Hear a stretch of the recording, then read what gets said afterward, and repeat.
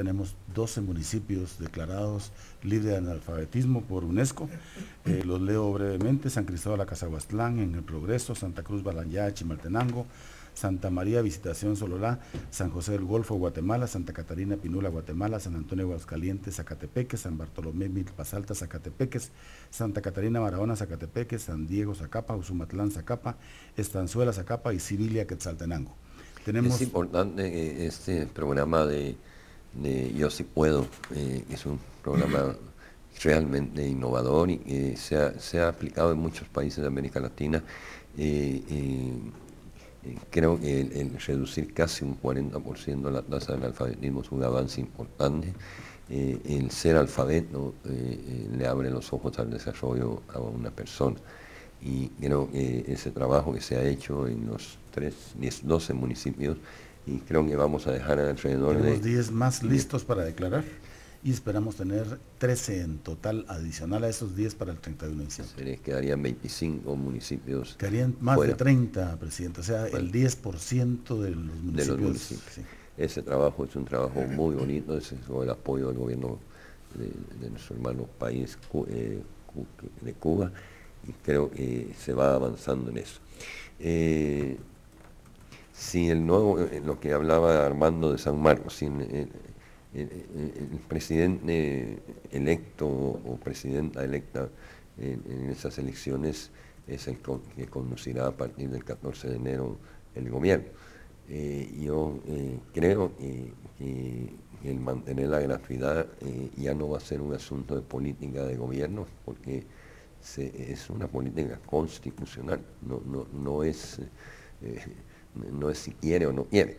La gratuidad se tiene que mantener para cumplir con la Constitución de la República. Y eso a los padres de familia yo se los recuerdo porque es un derecho, eh, como es el derecho a la libertad, como es el derecho a, la locomoción, etcétera. Eh, eh, ahí vamos a investigar en mi familia progresa, ministro, este señor Guerra en, Jalapa. Mm, Chiquimula. Chiquimula, averiguar porque ninguna persona debe ser amenazada por ninguna razón eh, en participar o no participar en un programa, es simplemente si, la, si el censo, si todo el proceso técnico que tiene Recordar, presidente, que la única corresponsabilidad del programa es enviar a los niños a la escuela y a los niños al centro de salud. Por lo demás, ni afiliarse a ningún partido, ni empadronarse, ni votar absolutamente. La, elección, el día, votar es un, es un derecho cívico pero no es una obligación para estar eh, afiliado a mi familia progresiva. En cuanto a los comentarios de las reuniones de seguridad, eh, eh, en, la conferencia que se realizó en Guatemala en, el, de junio, hubo muchos objetivos cumplidos, pero uno en particular es de poner en el mundo el tema global del narcotráfico. Y creo que eso fue importante ayer que eh, tuvimos la, oportunidad de reunirnos con, la doctora Marisela Morales, Procuradora General de la República eh, de México, eh, veíamos la importancia de la coordinación regional para la, para la lucha contra el crimen organizado. Ayer se capturó al famoso el taquero, responsable del asesinato de, los nicaragüenses de aquel bus que quemaron en, en Zacapa pero veíamos lo importante que es esa coordinación. Ayer estuvo con nosotros también la, señora fiscal general y jefe del Ministerio Público, doña Claudia Paz y Paz, eh, y esa coordinación entre la PGR y el MP de Guatemala eh, eh, ya empezó a dar resultados. Pero si eso se va fomentando y alimentando, va a dar todavía más resultados. Si bien México no es parte del SICA, el SICA con México tiene una excelente coordinación, igual que con Colombia. De hecho, los dos presidentes acompañaron la conferencia internacional. Eh, eh, ¿Hay más mensajes? Eh, sí, son un parcito de mensajes los que quedan. Ya estamos algo tarde también. Manuel de Jesús, buenos días, presidente. ¿Por qué están despidiendo personal en el Instituto de Antropología e Historia del Ministerio de Cultura? hay que investigar qué está pasando. Ya se ha iniciado algunos despidos en algunas instituciones. Eh, Ana, señor presidente, usted ordenó la transición de gobierno desde noviembre, según su mensaje de ayer. Creo que es sano y da claridad a la administración pública. garantizando transparencia. Eh, buenos días.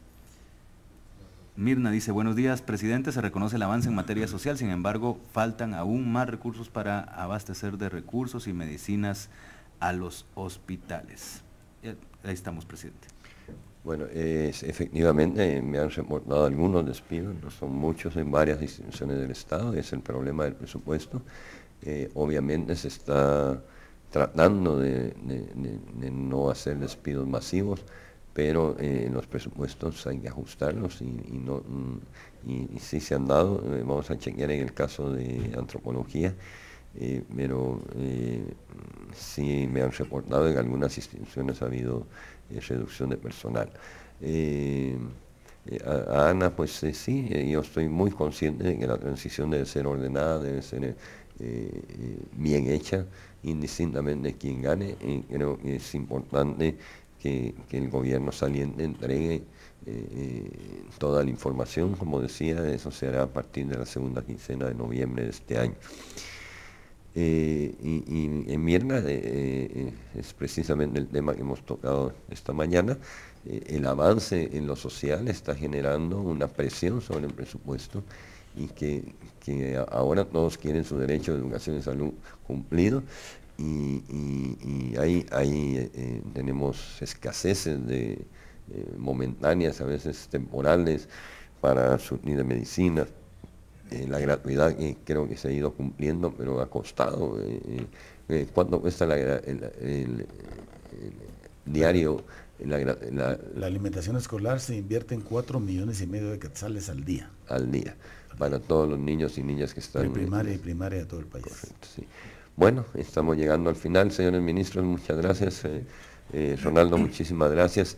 Y a los guatemaltecos y guatemaltecas, un saludo del presidente Colón y nos eh, estaremos encontrando nuevamente dentro de una semana. Que tengan una feliz semana. Muchas gracias.